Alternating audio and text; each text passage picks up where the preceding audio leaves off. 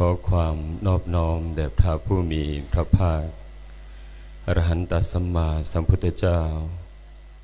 ผู้ไกลจากกิเลสตรัสรู้ชอบได้โดยพระองค์เอง แม้ปรินิพานนานแล้วพระองค์นั้นด้วยเสียงกล้าว กราบถวายความเคารพ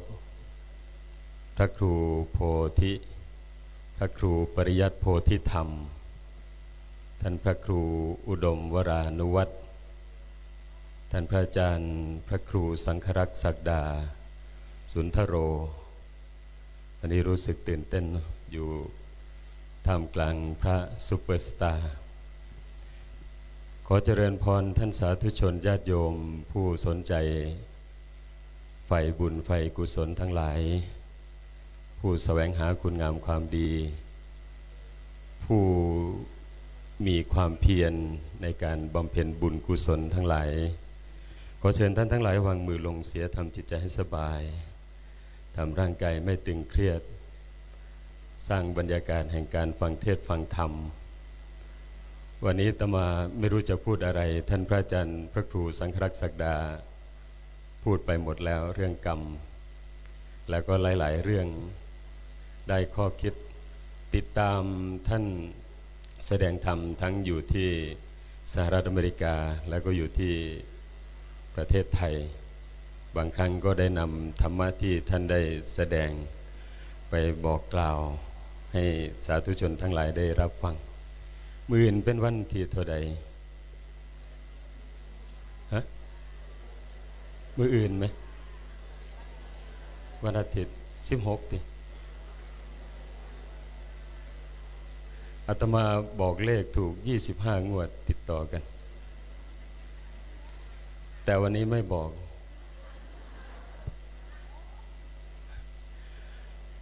เดินทางไปสหรัฐวันที่ 16 กุมภา2550 ไปเสร็จแล้วโยมเขาก็นิมนต์ไปที่ร้านอาหารโจแอนเดลรีสอร์ทที่เมือง Bethesda Bethesda มลรัฐแมรี่แลนด์ใกล้ ๆ กับวอชิงตันดีซีเขาก็เล่าให้ฟังบอกว่าท่านอาจารย์ โยมอยากถูกหวย อยากถูกลอตเตอรี่ อเมริกานี่เป็นเขาเรียกว่าลอตโต้ ไม่ใช่ลอตเตอรี่เหมือนบ้านเราเขาเรียกลอตโต้ทีนี้มันจะออกอยู่สองสองระบบ อันหนึ่งก็คือ Powerball กับ Mega Million โอ้เดี๋ยวจะหยอกหัวโยมบ้างนี่เนาะเพราะว่าเทศบรรยากาศตอนกลางคืนดึก ๆ นี่บางทีทำให้โยมก็อาจจะง่วงนอนขันนอนก็นอนรถเด้อขันง่วงนอนนะ แต่ว่าจะเหยียดตีนมาทั้งทีเลยเสียดายธรรมะมันเล็กไปเนาะขันธรรมะเงาๆแต่มากกับสีนอนเทศ ฟังเทศ ฟังธรรมแล้วง่วงเหงาหานอน ดูหนังดูละครฟ้าแจ้งจางปางนอกเป็นปกติของพวกเรา แต่ฝรั่งโยมฝรั่งฟังเทศนี่ตั้งใจฟังมาก เวลาเราพูดเร็วเกินไปเขาจะบอก slowly please slowly please master again please again please ซาซาแน่อีกแน่ว่าสัน บางทีเราพูดเร็ว เขาฟังไม่ทัน ทีนี้เวลาเขาฟังเทศฟังธรรมนี่เขาเขามีความสุข มีความตั้งใจเขาเรียกว่าเวลานั้นอาตมาเคยถามฝรั่งคนหนึ่ง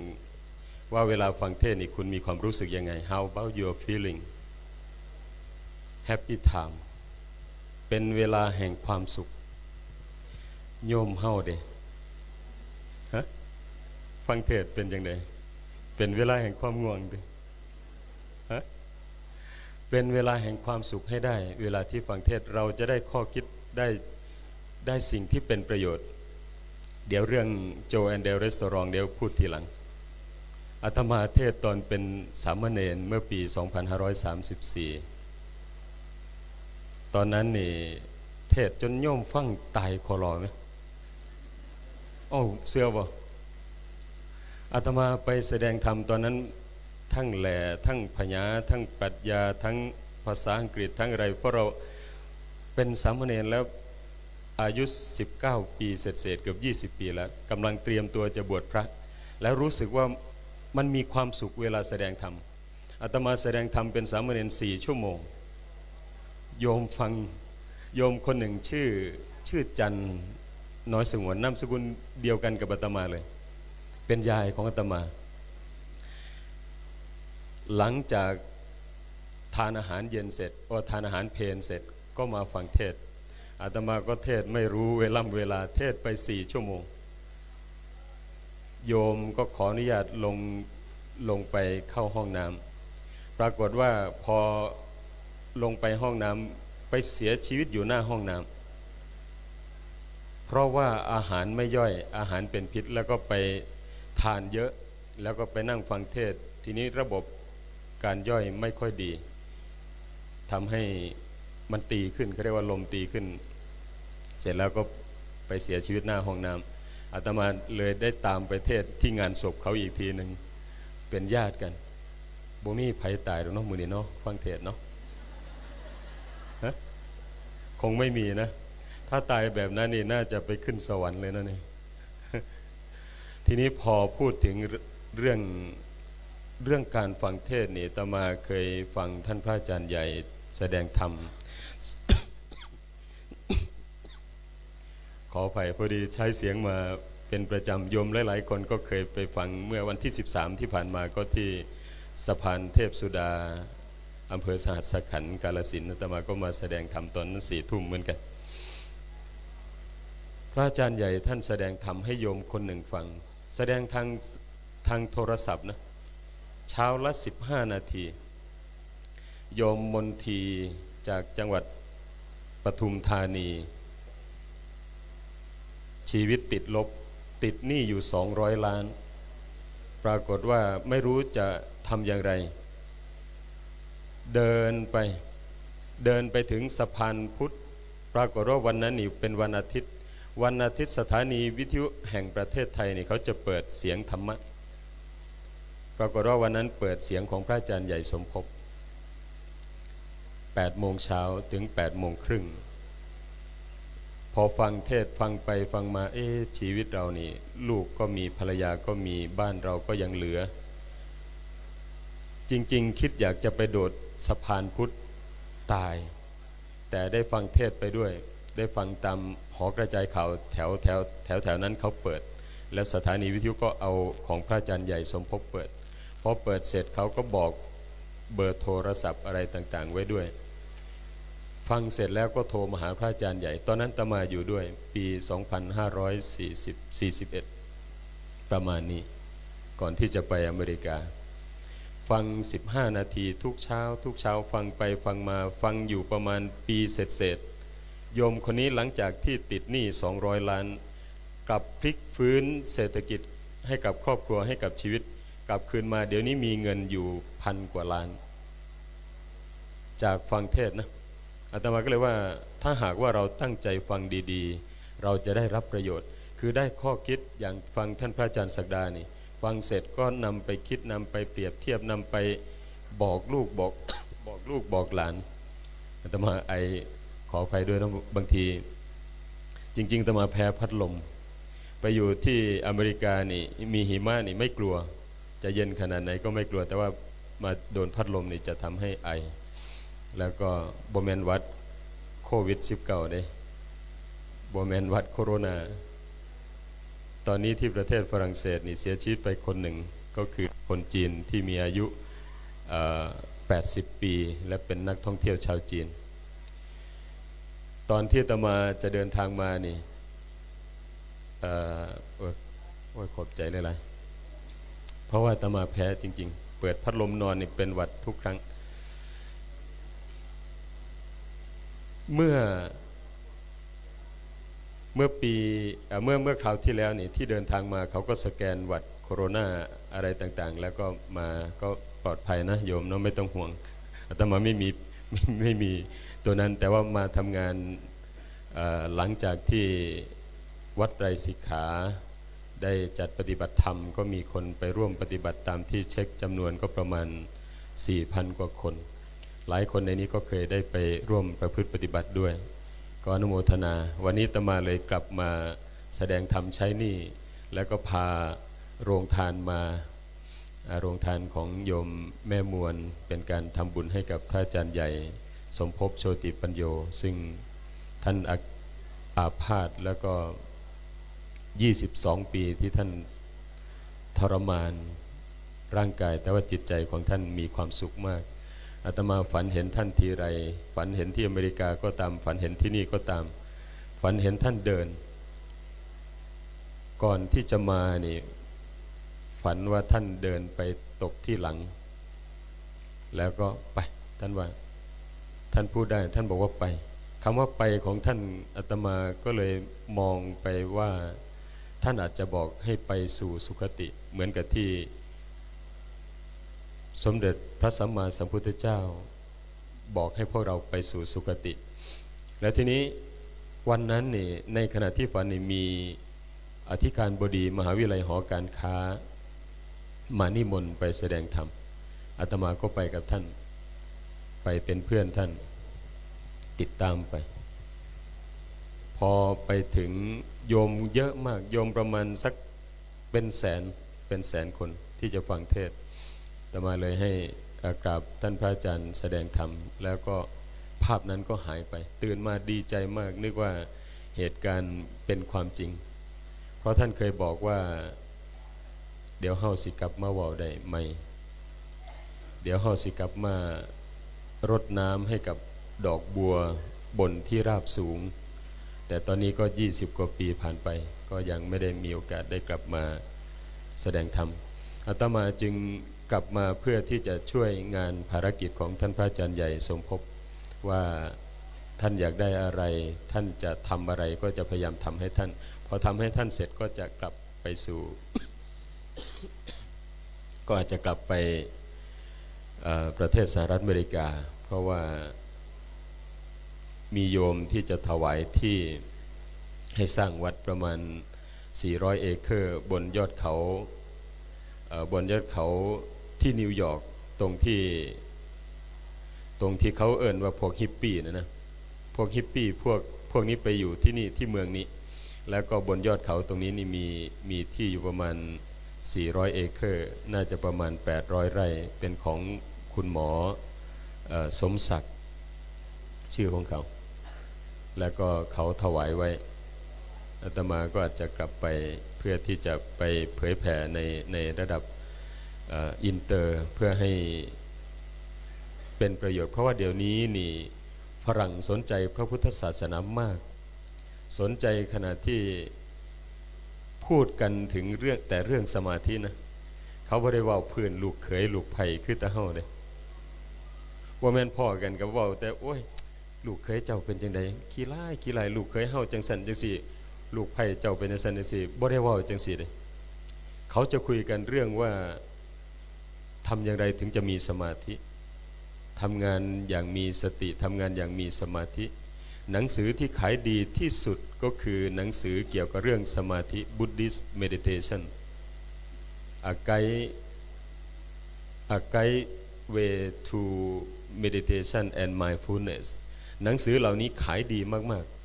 ๆ คู่มือในการฝึกสมาธิและวิปัสสนา และสติในชีวิตประจำวัน ขายดี เล่มละหมื่น เล่มละ 300 ดอลลาร์ ขายได้เป็นหลาย ๆ ล้านเล่ม เป็นหนังสือท็อป 10 ในในในตลาดหนังสือ เพราะว่าเขาสนใจเกี่ยวกับเรื่องสมาธิ คนไทยเขาสนใจเรื่องอย่าง หลวงพ่อหลวงพ่อเทศเทศพ่อเป็นพิธีกับพ่อเด้อข้าน่อยบ่อยากได้ดอกบุญอยากได้แต่เบอร์เดี๋ยวสิบอกเบอร์มือนี้ละสองห้าสี่สองห้าสี่เด้อมือมืออื่นอาตมาไปฉันที่ร้านร้านโจแอนเดลรีสตอรองที่เบเดสตาพอฉันเสร็จก็ให้พรให้ธรรมะเขาประมาณ 15 นาที ปรากฏว่าหลังจากนั้นกลับมาโยมสมศักดิ์จัญญาสัพกิจเจ้าของร้าน ถูกลอตโต้4ล้านดอลลาร์ คิดเป็นเงินไทยประมาณตอนนั้นก็ประมาณ 120 ล้านบาทมาเทศอยู่วัดอารามมงคลครั้งนี้เป็นครั้งที่สามนาสิบอกเลงโยมถืออยู่นะนี่เนาะพอได้ไปซอยสั่งโรงพยาบาลอาจารย์พระครูสักดา พอได้ไปซอยสั่งไปช่วยรักษาพยาบาลท่านพระอาจารย์ใหญ่สมภพเพื่อให้ได้รับประโยชน์ เพราะว่าพระพุทธเจ้าท่านตรัสอย่างนี้ว่า ภิกษุผู้ดูแลภิกษุอาพาธเหมือนเธอได้ดูแลพยาบาลรักษาเราตถาคตอาตมาเคยแบกพระอาจารย์สมภพ พระอาจารย์ใหญ่ขึ้นเครื่องบินไปรักษาที่กรุงเทพ ไปรักษาปีนั้นปี 2551อาตมาแบกขึ้นเครื่อง 16 เที่ยว 16 ครั้ง แล้วก็ไปพักที่วัดสังฆทาน เพราะน้ำหนักอาจารย์ตอนนั้นน้ำหนักแค่ 47 นี่มีเหล็กมาแล้วได้นี่น้ำหนัก 47 กิโลอาตมาแบกได้ แล้วก็แบกขึ้นเครื่องเสร็จแล้วก็เอาวีลแชร์นี่โหลดลงใต้เครื่อง แล้วก็ไปไปรักษาที่วัดสังฆทาน คุณหมอก็มารักษาที่นั่น ที่วัดสังฆทาน ตอนนั้นท่านหลวงพ่อสนองท่านยังอยู่อาตมาก็ลงไปกราบท่านที่ที่ตึกทรงไทย ตึกทรงไทย ท่านให้พระอาจารย์ใหญ่สมภพนี่พักบน ชั้นที่สามอาตมาก็ลงไปจะไปกราบท่านจะไปกราบเรียนว่าพระอาจารย์ใหญ่มาแล้ว หลวงพ่อสนองพูดเลย พออาตมากราบเสร็จปั๊บบอกหลวงพ่อสนองบอกว่า ไม่ต้องให้พระอาจารย์สมภพมาหาผมนะ ผมจะไปกราบท่านข้างบน เพราะท่านเปรียบเสมือนพระพุทธเจ้าอาตมายังจำแล้วน้ำตาไหลเลยนะ ซึ้งใจที่ พระเดชพระคุณหลวงพ่อสนองพูดอย่างนี้ พระอาจารย์สมภพเปรียบเสมือนพระพุทธเจ้าท่านว่าอย่างนี้ทำไมถึงบอกว่าอย่างนี้ เพราะว่าภิกษุใดพยาบาลภิกษุผู้ผู้อาพาธภิกษุนั้นเหมือนพยาบาลเราตถาคต ผู้ใดเบิงผู้พระป่วยพระอาพาธซ้ำกับเบิงพระพุทธเจ้า ซ้ำกับดูแลพระพุทธเจ้าอาตมาไปอเมริกาก็ไปดูแลพระภิกษุอาพาธอายุ 95 ปี 96 ปี เวลาที่พาท่านเข้าโรงพยาบาลฮอริครอสฮอสพิทอลเวลาที่เข้าไปพักก็จะไปนอนเฝ้า ท่านก็จะเรียกทุก 20 นาที ท่านจะเรียกสุริยา สุริยาอาตมาก็มาให้ท่านเห็นเฉยๆ แล้วก็นอนต่อท่านเรียกพอให้รู้ว่า เราอยู่เคียงข้างท่านอาตมาก็ดูแล แต่ท่านไม่อยากให้มา แต่อาตมาบอกเหตุผลบอกว่าที่กลับไปเมืองไทย จะไปดูแลพระอาจารย์สมภพท่านก็เลยอนุญาตให้มา อันนี้เล่าเรื่องส่วนตัว ทีนี้พอพอพูดอย่างนี้นี่ว่าเราได้ดูแลภิกษุผู้อาพาธเป็นสิ่งที่ประเสริฐสำหรับชีวิตเรา ไปที่ไหนตกน้ำไม่ไหลตกไฟไม่ไหม้เหมือนท่านอาจารย์ศักดาท่านจะไปสร้างโรงพยาบาลเนี่ยตมาเข้าใจเหตุผลของท่าน แล้วก็ติดตามเพจ Facebook ติดตามอะไรต่างๆ ของท่านมามาโดยตลอดก็ชื่นชม อนุโมทนา เคยอบรมพระธรรมทายาทรุ่นที่ 16เนาะรุ่นที่ 16 ที่วัดชนประธาน ลูกศิษย์หลวงพ่อปัญญา ที่วัดชนประธานด้วยกัน เมื่อปี 2538 แล้วก็แยกย้ายกันไปปฏิบัติศาสนกิจ ตอนนี้ท่านเป็นพระที่โด่งดังอันดับต้นๆของเมืองไทยอาตมายังรู้สึกตื่นเต้นว่าเเราจะเทศอะไรดีเนาะมาฟังเทศจากท่านแล้วนี่เราจะเทศได้หรือเปล่าเนี่ยอันนี้คือเรารู้สึกชื่นชมว่าท่านทำงานพระศาสนา อย่างหลวงพ่อพระครูปริยัติโพธิธรรมก็เหมือนกันเห็นงั้นจนจอยหมดไหม จอยหมดเลยอาจารย์พระครูอุดมวรวัตคือกันวรานุวัตคือกันเหตุงานจนอ้วนเพื่อนนี้ก็ได้ตรงตรงขามกันเนาะเล่ามาถึงตรงนี้ว่า การฟังเทศฟังธรรมนี่บางที ฟังแล้วได้ประโยชน์ ฟังแล้วได้ขึ้นสวรรค์ เหมือนที่ท่านท่านพูด แล้วฟังแล้วถือลอตโต้ถือลอตเตอรี่ ได้เงินได้ทองมาเฮ็ดบุญ โยมสมศักดิ์เลยถวายปัจจัยตั๋วเครื่องบินอาตมานะถวายเมื่ออวันที่ 28 มกราอาตมาเดินทางมาถึงเมืองไทย แล้วก็ถวายให้กลับไปอเมริกาอีกวันที่ 25 พฤษภา เพราะเขามั่นใจในเรื่องบุญเรื่องกุศลโยมเวลาได้อาบน้ำบนี้มาฟังเทศน์นี่ฮะคือได้กินอย่างในจังหน่อย แสดงว่าบ่ได้อาบน้ำบ่นี่โยมฮะได้อาบอยู่ติฮะถ้าทำดีปนชั่วเหมือนแต่งตัวไม่ได้อาบน้ำก็จะได้จะว่าทำดีปนชั่วเหมือนแต่งตัวไม่ได้อาบน้ำล่องไปไถหน้ามาไม่เมื่อยเหือแตกเหือแตนขี้ฝุ่นเต็มมาหอดมาหอดท่าแป้งท่าลิปสติกท่าครีมท่าอย่างต่าง ๆ ใส่เสืองามๆใส่เสือใหม่ๆเข้าไป เป็นตะเบิงบอฮะปันกล้วยสุกจำปลาแดกหวานกับหวานเข้มกับเข้มแมันวะคนมุนอุยปุยอยู่น้ำกัน อันนี้คือทำดีด้วยทำชั่วด้วยทำดีปนชั่วเหมือนแต่งตัวไม่ได้อาบน้ำเออฉะนั้นเวลาเวลาที่เราจะแต่งตัวเขาต้องเห็นอย่างก่อน ต้องอาบน้ำก่อน อาบน้ำก็คือเหมือนกับเป็นการละความชั่ว พระพุทธเจ้าจึงตรัสไว้ในโอวาทปาติโมกข์หัวใจของพระพุทธศาสนาวันเพ็ญ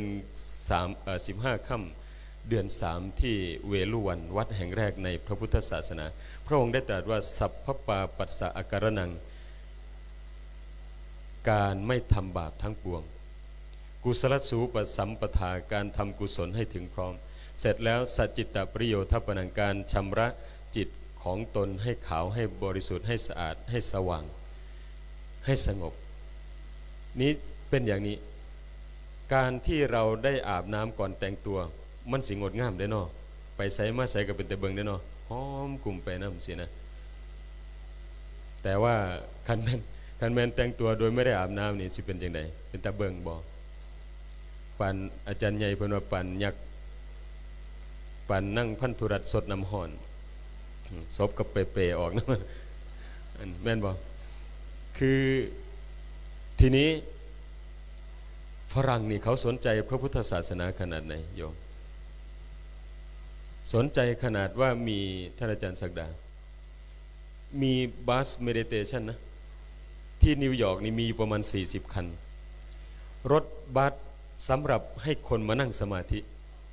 คนที่ไปทำงานออฟฟิศ ทำงานเป็น office syndrome ทำงานอะไรต่างๆ มาเหน็ดเหนื่อยมา มานั่งสมาธิที่ bus meditation พอนั่งสมาธิเสร็จปั๊บกลับไปสดชื่น ไปทำงานและประสบผลสำเร็จมีความสุข มีความสุขจากการที่ที่ได้มาทำสมาธิพอพอมาทำสมาธิมันงานก็มีคุณภาพเพิ่มมากขึ้น เดี๋ยวนี้รถ bus meditation ในมหานครนิวยอร์กไม่เพียงพอ ตั้ง 40 คันนะ ไม่เพียงพอ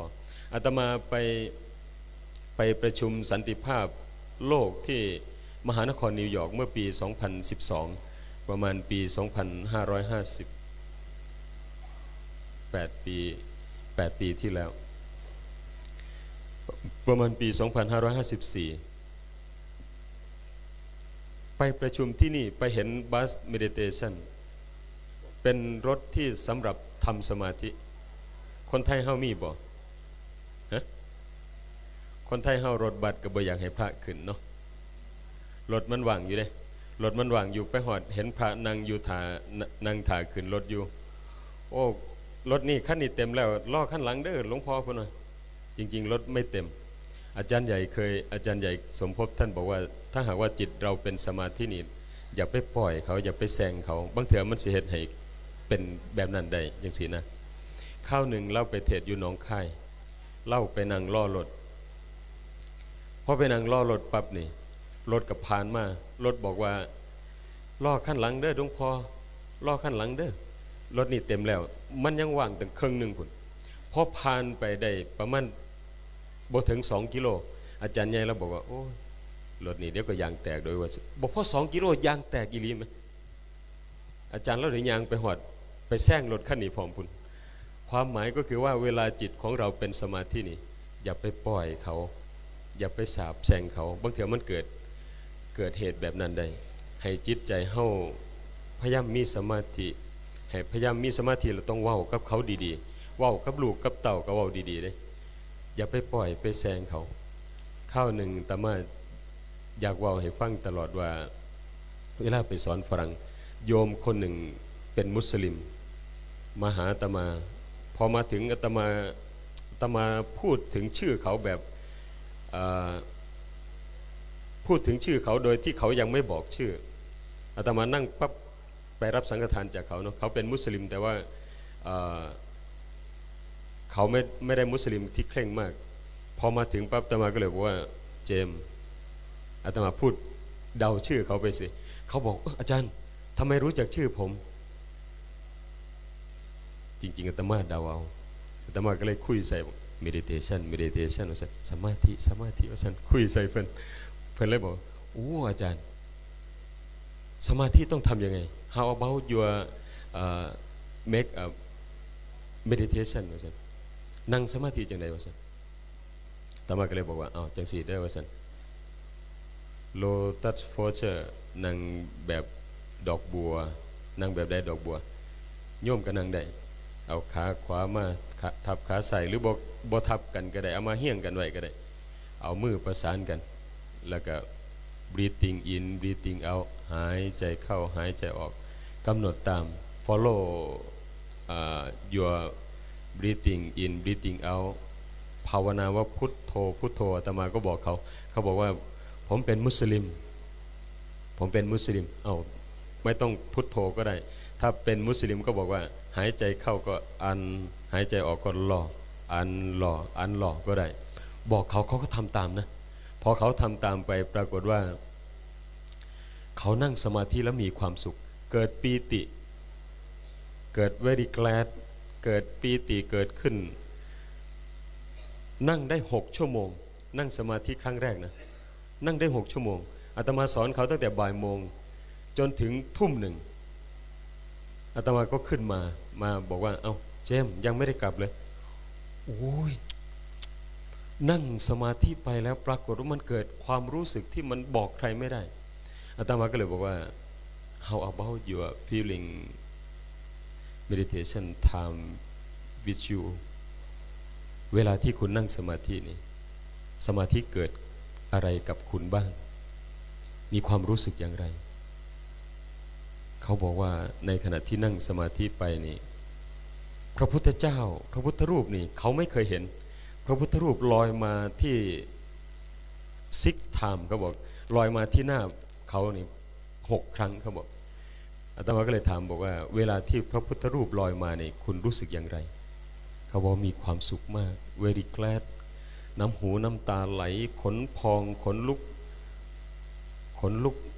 มีความสุขเกิดปีติ เขาเขาบอกไม่ถูกแต่เขาก็พูดไปอาตมาก็เดาเอาว่า เกิดเหตุการณ์อย่างนี้ตมาเลยบอกว่า แล้วเวลาที่เกิดสิ่งเหล่านี้คุณอยากให้พระพุทธรูปหายไปไหมก็บอกว่าไม่อยากให้หาย อยากให้อยู่อย่างนี้ พออยากให้อยู่อย่างนี้ตลอดแล้วมันมีความสุขผูกพันอยู่มันเป็นพุทธานุสติบุญของเขา พอตมาเล่าไปเขาก็ตอบมาอธิบายมาจบเสร็จแล้ว เขาเปลี่ยนศาสนาจากเป็นมุสลิมเป็นพุทธเลยนะ อนนี้ทำงานอยู่ที่ U.S. Embassy ที่ฟลอริดาทำงานที่สถานทูตกงสุลที่อเมริกาที่เมืองฟลอริดาหันมานับถือพระพุทธศาสนาได้ 6 ปีแล้วชาวไทยเฮาเป็นยังไงชาวไทยเฮาฮะชาวไทยเป็นไงหลวงปู่ชาบอกว่าจะไหนอาตมาไปเทศแล้วพูดเป็นประจำนะหลวงปู่ชาบอกว่าชาวพุทธไทยนี่ ใกล้เกลือกินด่าง ใกล้ด่างกินดิน ใกล้ดินกินขี้ท่านว่าแม่นบ่ชาวพุทธไทยเราเนี่เป็นคนด้อยโอกาสทางพระพุทธศาสนา ตรงกันข้ามเดี๋ยวนี้นะ เดี๋ยวนี้ American extreme คนอเมริกานี่จะพูดถึงแต่เรื่องสมาธิเรื่องภาวนาบริวารเรื่องเพื่อนลูกเขยชาวบ้านบริวารเรื่องทหารยิ่งกันได้ ขอไปอาตมามากับพันเอกวีรสิทธิ์กับพันโทอาคมเอาเดินทางมาด้วยกันขับรถมาให้อาตมา แล้วก็มาดูแลอยู่สามวัน วันพรุ่งนี้ไปแสดงธรรมที่พระธาตุพนมก็จะตามไปด้วย แล้วก็จะไปนอนเป็นเพื่อนอยู่ที่นู่นก็เลยบอกบอกพื้นทหารยานเขายิ่งเอาเขามีปืนคนละกระบอกกระบอกมามาทหารมาส่ง แล้วก็ขอขอมาดูแล จริง ๆ ก็ไม่ใช่อะไรหรอก เพราะว่าท่านพลโทธัญญาเกียรติสารนี่เป็นแม่ทัพภาคที่สอง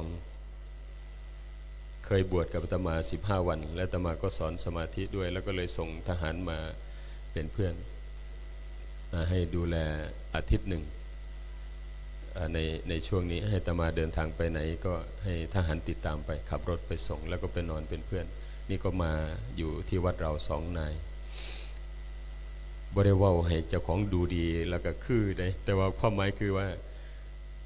ทหารที่มีคุณธรรมเขาก็รักษาพระศาสนา เจ้าชายแฮร์รี่ เจ้าชายแฮร์รี่นะจากพระราชวังบักกิงแฮม พระราชวังวินเซอร์ของประเทศสหราชอาณาจักรอังกฤษนี่นั่งสมาธิทุกวัน ฟังเทศทุกวัน พาปีที่แล้วนี่พาทหารชั้นผู้ใหญ่ของอังกฤษ แสดงตนเป็นพุทธมามกะสี่พันนาย เจ้าชายแฮร์รี่นะจึงไปลดบทบาทของตัวเองลง เพราะว่าเห็นว่าทรัพย์สมบัติมันก็ไม่ได้ไม่ได้ยั่งยืนถาวร อะไรต่างๆ ก็ไม่ยั่งยืนถาวร เท่ากับศีลธรรม เท่ากับคุณธรรม คุณธรรมจึงเป็นสิ่งที่จำเป็นมากจำเป็นมากขนาดไหนโยม โยมมีเงินสมมุติเนาะสมมุติว่ามีเงินอยู่ตอนนี้เนาะเอาเงินมาใส่ถ้วย เวลาหิวเขาไปกินแทนเขาได้บ่บ่ได้เนาะแม่นบ่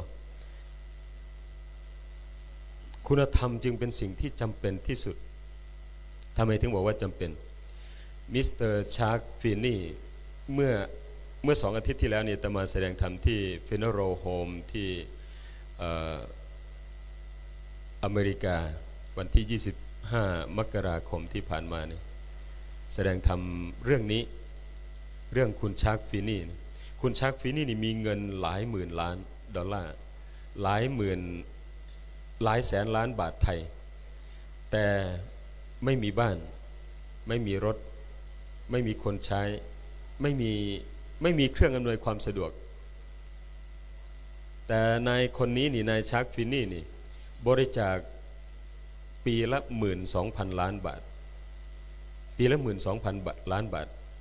ให้กับมูลนิธิบ้างให้กับมหาวิทยาลัยต่าง ๆ มหาวิทยาลัยอันดับเจ็ดอันดับแรกของสหรัฐอเมริกานี่คุณชักฟีนี่บริจาคให้ มหาวิทยาลัยละสี่พันบ้างสองพันบ้างพันล้านบาทบ้างอะไรต่างๆ เขาบอกว่าอย่างนี้โยมผู้สื่อข่าวไปถามว่า Mister Chuck Feeney ทำไมคุณหาเงินมาเสร็จแล้วคุณไม่ใช้เงิน คุณจะไปใช้เงินตอนไหน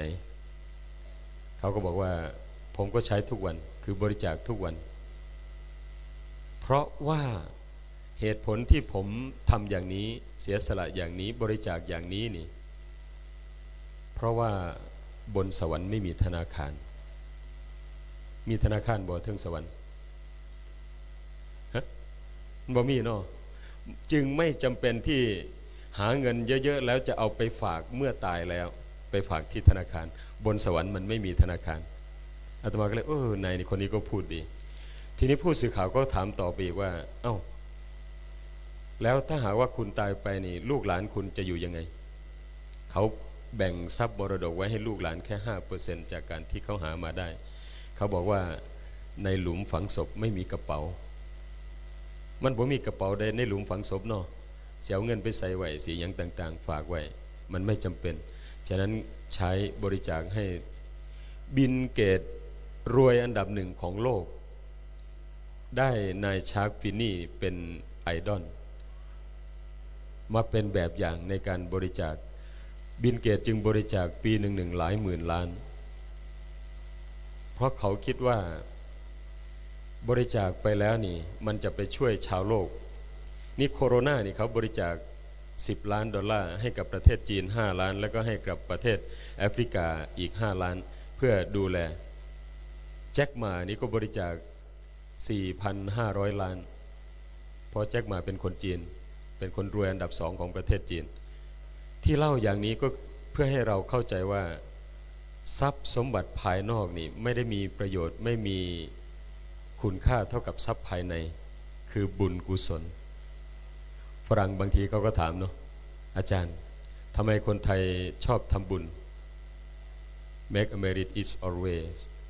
ทำไมคนไทยถึงชอบทำบุญตลอดอาตมาไม่รู้จะตอบยังไงอาตมาก็ตอบว่าโยมวันหนึ่ง โยมกินข้าวกี่วันกี่ครั้งสามครั้งก็มีสี่ครั้งห้าครั้งก็มี ดึก ๆ ตื่นขึ้นมาบางทียังมีมากินอีก เอาทำไมไม่กินข้าววันนี้เสร็จแล้วอิ่มแล้วอีกสองเดือนข้างหน้าค่อยกินใหม่ ได้ไหมอีกสองเดือนข้างหน้าได้กินกินไม่ได้บ่เพราะว่ากินอิ่มเราได้มือนี่ไว้ตายตัวไหนแล้วเพื่อนว่าเหมือนกันคนไทยนี่เห็นบุญเป็นวิถีชีวิต ตื่นเช้าขึ้นมาสวดมนต์ทำวัดเช้า ไหว้พระทำจิตใจให้สะอาดสายสายมาพระเมียมบินทบาทใส่บาตรบ่ายๆเพนเพนมาก็เอาอาหารไปถวายพระที่วัด บ่ายๆมามีน้ำปานะไปถวายอีก เย็นๆมาสวดมนต์ไหว้พระทำจิตใจให้สงบอีก อันนี้คือคนไทย บุญเป็นวิถีชีวิตของคนไทย เหมือนกับโยมกินข้าว กินพิซซ่า กินแมคโดนัลล์กินอะไรต่างๆ นั่นแหละ โยมต้องกินทุกวันใช่ไหมมีบ่โยมกินเขาวเมื่อสองเดือนที่แล้วเรายังบ่ท่านได้กินอีกอยู่ มีบ่นฮะกินซุมือนี่แม่นบ่ อาตมาแค่ไหนนี่บ่ท่านได้กินได้นี่ตั้งแต่ตั้งแต่เก้าโมงเช้ามานี่บ่ทันได้กินข้าวได้นี่กินแต่มาม่าเอาอย่างนี้เนาะเสียงอาตมาจะรักษาเสียงไว้เพราะพรุ่งนี้ต้องไปแสดงธรรมแล้วก็มีมีนักเทศน์มาเยอะนิดเดี๋ยวพระอาจารย์มหาสุริยามานี่เป็นซูเปอร์สตาร์ฝ่ายขำขันบันเทิงนี่สุดยอดงั้นอาตมาก็คงจะขอจบไว้แต่เพียงเท่านี้มาแสดงธรรมตอบแทน อาจารย์พระครูปริยัติและญาติโยมอุบาสกชาววัดอารามมงคลที่มีน้ำใจมีเมตตาได้ไปร่วมกันประพฤติปฏิบัติที่วัดไตรสิกขาเมื่อ1ถึง7กุมภาที่ผ่านมาธรรมภาพ เสียงมันสิหมด ก็ขออำนวยอวยพร ขออนุภาพแห่งบุญ อาจารย์ศักดาบอกว่าอวยพรให้ใครไม่ได้ แต่ตมาอวยพรให้ได้ ขออนุภาพแห่งบุญจงเป็นผลดลบันดาลอภิบาลคุ้มครองรักษาให้ท่านทั้งหลายจงประสบแต่ความสุขความเจริญ คิดนึกสิ่งใดขอให้สำเร็จสมความประสงค์ทั้งมั่นคงอายุนานวันหน้างามทั้งความสุขมีกำลังอันสมบูรณ์เพิ่มพูนพร้อมทรัพย์สมบัติสามมีมนุษย์สมบัติสวรรค์สมบัตินิพพานสมบัติตามขอให้พบแต่ความสงบเยือกเย็นแห่งจิตใจ และความผาสุขทุกๆประการจงทุกคนทุกท่าน เดินทางใกล้ไกลโชคดี ลาภผลภูนทวีมั่งมีร่ำรวยด้วยกันทุกท่านทุกคนเธอ สาธุโยมคุกเข่านางเทพพระธิดาจะได้ขึ้นสวรรค์กราบองค์แสดงธรรม กราบพุทโธ กราบ กราบ รับพรเนาะพอดี ถวายท่านเทศก่อนโอ้อ่าสามพี่น้องเลิกลมทานสามพี่น้องมา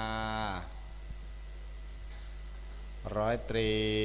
เอาแผนกกิจอาสา ญาติโยมถวายนะชยธรรมเด้อ ตามธรรมเนียมธรรมอืมเออ ไม่ไม่ต้องลุกมาใส่บาตรนะ เพราะว่าบ่แม่นหยังดอกแต่มาสิลงไปนอนนะสิเผาไปนอน ขออภัยเพราะว่าอยากให้ถวายองค์ต่อไป เดี๋ยวจะมามาแสดงธรรมตอบแทนตั้งบุญที่คุนี่ณเอาพระอาจารย์ไปจะได้ เพราะว่าอาจารย์พระครูปริยัติท่านท่านไปช่วยประจำพาญาติโยมไปครั้งละหลายคันรถบัส ก็เรามาแค่นิดหน่อยก็เป็นการตอบแทนบุญคุณกันจำไว้อย่างนี้โยมว่าความกตัญญูถวายเลยจะทำให้ชนะทุกสิ่ง ความกตัญญูจะทำให้ชนะทุกสิ่งใส่ขัน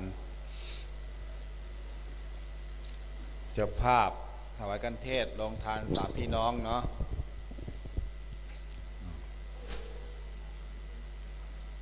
มาคำวัดอารามมงคลตั้งแต่นู้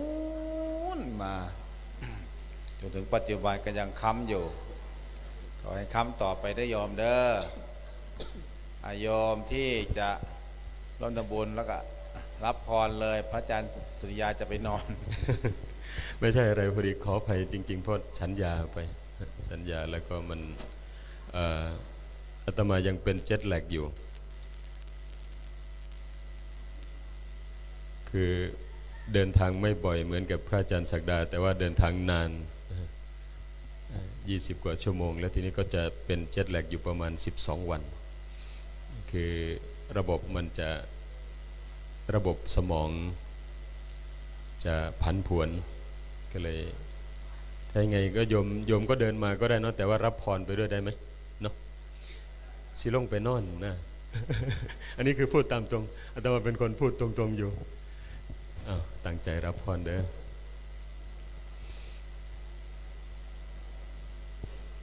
อายุโทภลโททีโรวันโทปฏิภาณโทสุขสัทธาตาเมธาวีสุขังโสอธิคัจติอายุงทัตตวาพลังวันนังสุขันจะปฏิภาณโททีขายุยสวาโหติยัตถะยัตถูปปัจฉติตี สาธุวิ